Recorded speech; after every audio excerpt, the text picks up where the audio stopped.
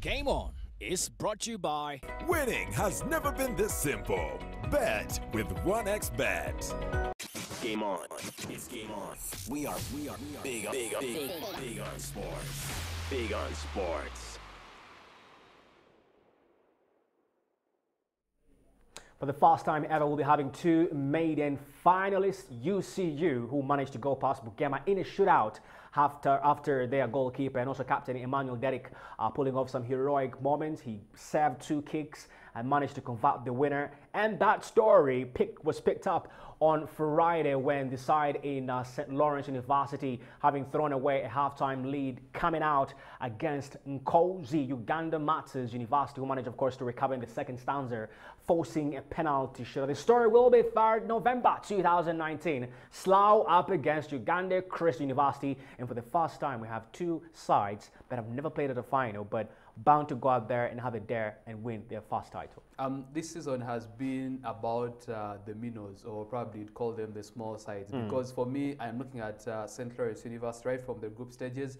Um, not so many people gave them a shot, but um, they've slowly earned their way all the way into the finals. Mm. And I think for me, they showed plenty of character, especially in that penalty shootout, to ultimately be able to edge it 3 2. And um, for no, no, you can clearly see the kind of job he's done with this team because at the end of the day, uh, they are a side that is extremely fearless. Um, I think for me, they've been as impressive on the road as they've actually been when they're playing at home. So for them, the big challenge is going to come, like you said, on the 3rd of November when they play against UCU because uh, UCU is another team that has had quite an interesting journey. Um, You know, uh, playing against teams like you know uh, Bugema in there, Busitema in there.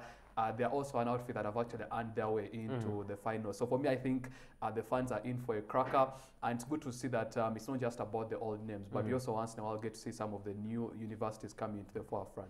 Um, this season, Lauren, it's been all about surprises being sprung. And first we saw Nkumba faltering, then we saw KU in Kampala University last year's losing finalist, and then we saw Kyambogo, the defending champions, also getting bullied out by Bugema. The story continued when you thought two houses in Nkozi and maybe, well, UCU reaching the finale, um, uh, reaching the finals. But that wasn't the case. Yes, UCU made the finals, but you want to think this year could be the year, or it will be the year of the um, uh, dark horse sides.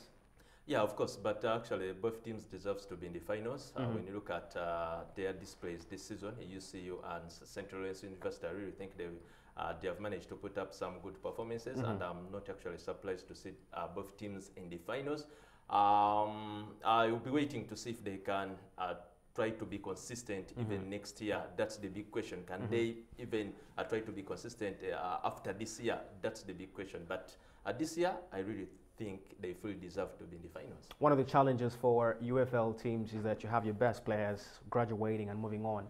And then, of course, uh, you have to find a replacement. When you look at UCU and for St. Lawrence University, they have a couple of uh, players in there. Ogwang was their main player last season. They, they look to have replaced him this season. But um, uh, for St. Lawrence and for UC right now, the focus should be in the final, which is next month. Um, yeah, the final is going to be very important. But like you said, um, and like Lorian mentioned, it's about how consistent can they be. Because uh, we all know at the end of the day, it's one thing coming and winning it this year, and then it's also another getting knocked out uh, in the group stages next year. We've seen MUBS being subjected to the same. We've seen uh, Makerere being subjected to the same Nkumba in the well. past, Nkumba as well.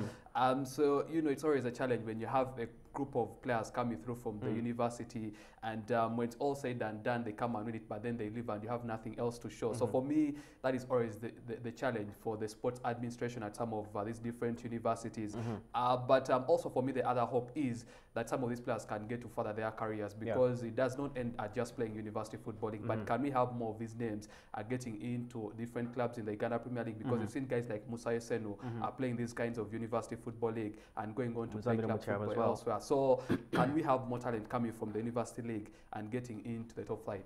Well, it won't be MUBS, it won't be KU, it won't be Nkozi, it won't be Kyambogo, but it will be UCU up against come up against uh, St. Lawrence University of uh, Swaziland. And on that very day, earlier kickoff will be third place finish between Bugema, who lost out to the side. Uh, that's, of course, um, uh, UCU, and up against the side in uh, Nkozi, who lost out to uh, the side in St. Lawrence University. The venue will be the Nelson Mandela or the uh, Mandela National Stadium. Uh, that's in Namboole, where you'll get it. Mark the calendars 3rd November 2019. That's next week on Sunday. Away from that, let's head out to Hoima for the Kabalega Rally, where the 2015 NRC winner, that is an Arthur Blick Jr., coming out to rally his way through and clocking some good times and eventually pocketing his second successive win in the NRC. It's been long since we had Arthur Blick Jr. claim it, and uh, he's had car troubles, he's had to upgrade his um, car as well, but finally, it looks like he's getting his times right. And to further this, coming out with two fine wins, for me, kind of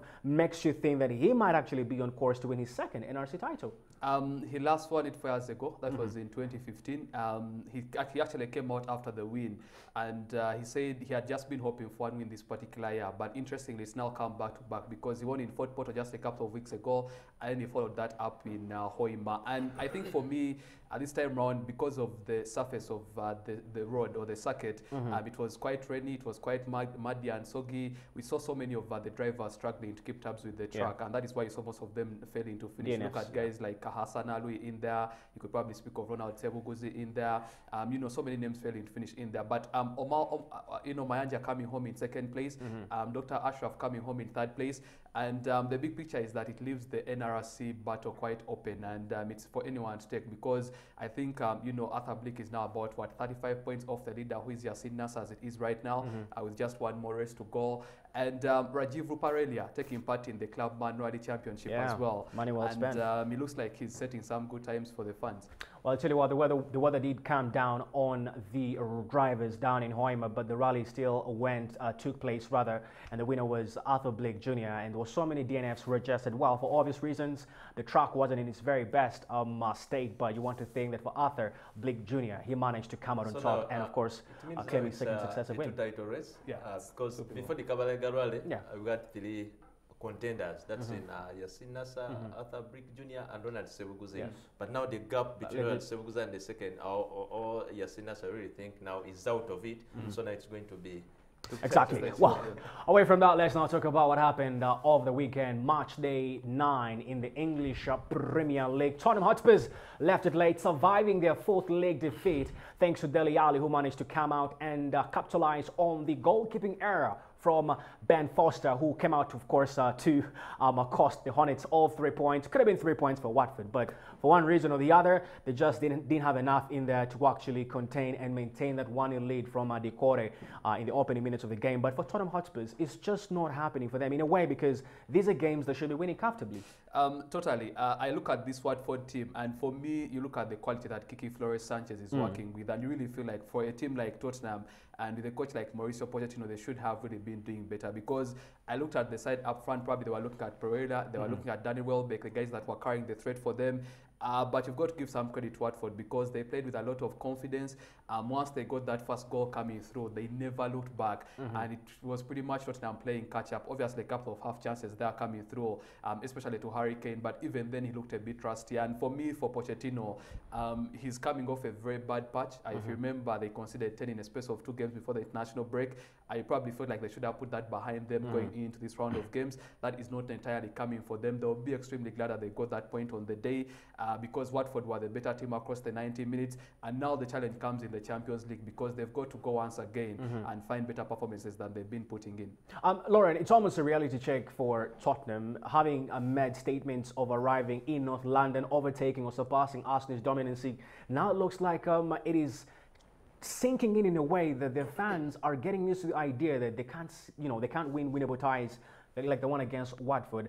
For Mauricio Pochettino, there is so much, um, should I say, uncertainty surrounding his job. But for the players like um, uh, Harry Kane, uh, Dele Alli, and then, well, the other absentees in Hugo Lloris, you've got to worry for Tottenham. They're not headed in the right direction just when you thought they'd finally picked up. After finishing second last season in Champions League, Mm. uh, lo- losing 2-0 uh, against Liverpool, I really and when you look at uh, the business that actually Pochettino did uh, during the transfer window, Mm. I expected to see a, a better Tottenham side actually challenging maybe a Man, Man City and Liverpool for the title uh, this season. But when you look at Tottenham right now, like there is something wrong. There is something wrong in that Tottenham team because when you have players like Ndombele, uh, you have players like um, Son Heung-min, Lo Harry Celso, Kane. Lo Celso actually. Lo Celso, he, has, yeah. Mm-hmm. he has not actually been given enough time maybe to prove himself. Uh, it's a senior. yeah. Uh, you really think that Tottenham has quality Mm-hmm. in their squad, but things are just not going their way. And I don't know, but Pochettino, uh, Po- Pochettino actually, unless he tries as much as possible to fix things early enough, Mm-hmm. uh, I think pressure is going to keep mounting on him On him. because right now, after putting up a good performance last season, Mm-hmm. reaching the Champions final, that means he raised the bar high. So that means the fans expect more. More. from what they are seeing right now. You, you talk about pressure, and uh, well, Flores Sanchez is a man in a hot seat at the moment. Opening or his nine opening games haven't been that fruitful, and you want to think it's surprising for a team that used to be among the top ten now struggling to get a win. Just when you thought maybe they would actually upset Spurs and get their first win, signed on Danny Welbeck, a couple of other big, um, uh, well, average players coming through. They're still not winning games. Um, I think when Flores Sanchez took over the team, they were coming off a really bad spell, especially under Javi Garcia. And he had such a big job ahead of him in terms of getting this house in order and also getting the results out of them. And I think it's not been that easy. Um, the, one of the big challenges is that you've got so many teams in the mid-table between about 8th and 13th. And um, you'd think that Watford fairly, that is where they should be falling at the end of the day. Um, one of the big undoings has also been that Troy Deeney has been in and out of the team. He's barely played that much football. And we all know the kind of leadership that he brings to them as a Watford team. And when they are without him, first of all, it takes away that attacking threat that they come with, but then also the leadership and the sense of direction that he brings to the team. So for me, I think that um, for Flores, when he first came in, I think he had a win against Man City in there. He had a couple of you know convincing performances, but um, it's what some people call beginner's luck. When you're just starting out, you probably come with a couple of good wins, and then before you know it, hilari- uh, reality starts to hit you. So the hope is that they can get better. Um, the primary target obviously will be that they stay away from the relegation zone and probably battle for at least the close spots in the top 10.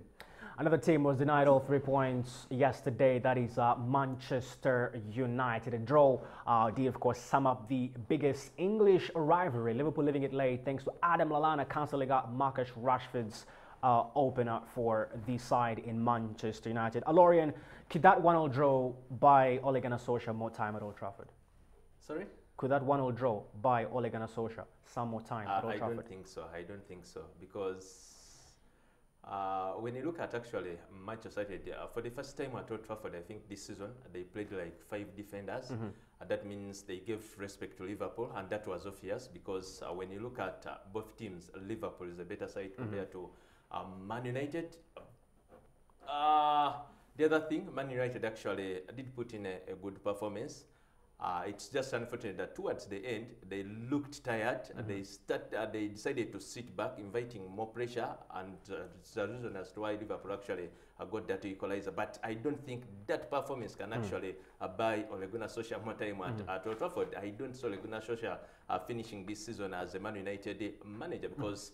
Uh, they can, uh, you don't expect to see a consistency in Man United because of uh, today they put in a good performance. Then in the next few weeks, It's all falling apart. it's Back to where they falling apart. So I don't see Ole Gunnar Solskjaer actually uh, surviving the axe at Man United, and I don't see Man United trying as much as possible to build on that performance. I don't see that because we all know Manchester United.